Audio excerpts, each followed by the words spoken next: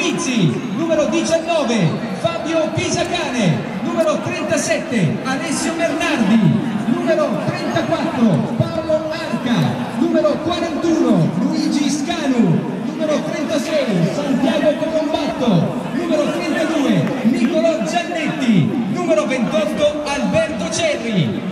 Arbitra l'incontro il signor Gherzini,